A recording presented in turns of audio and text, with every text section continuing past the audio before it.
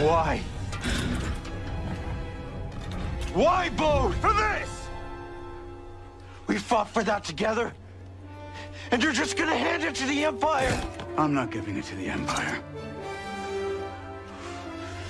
You killed Master Cordova. Cal, you don't have time for this fight. Something terrible is coming for that archive. Listen to your instincts. You know I'm right. What have you done? If you want to keep your family safe, you get them out of there. Right now. What have you done?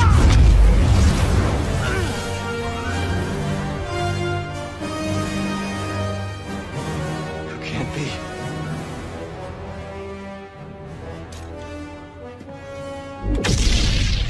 You're not the only one who survived.